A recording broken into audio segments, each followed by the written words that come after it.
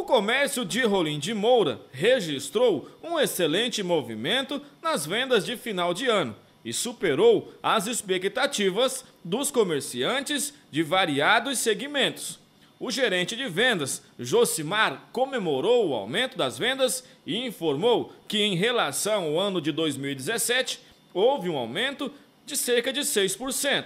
Aqui no Panelão as vendas foram, foram um sucesso, tivemos aí um crescimento é, de 2017 para 2018 e graças a Deus, não, pode, não temos que reclamar. Querendo ou não, essa época natalina, virada de ano, o pessoal sempre quer comprar um presente, né?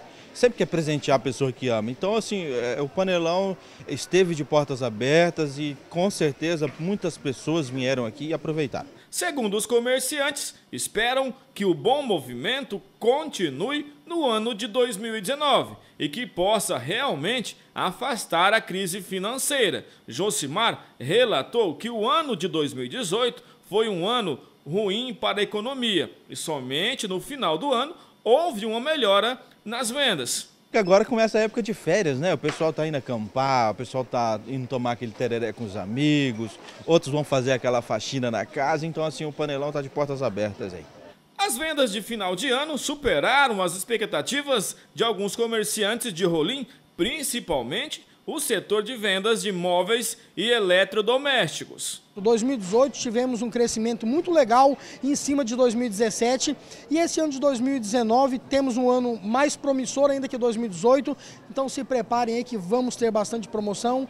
Os consumidores aproveitaram as promoções e as facilidades de pagamentos para antecipar as compras de final de ano e assim movimentaram o comércio em Rolim de Moura. Pegamos aí o 23 de novembro, que todos vocês sabem que a Gazin fez a promoção do Black Friday. E aí entramos no mês de dezembro com o pé direito e todo aquele embalo dessa grande promoção do Black que nós fizemos para vocês clientes. E vocês puderam ver aí o quanto de produto nós vendemos e como nós vendemos barato.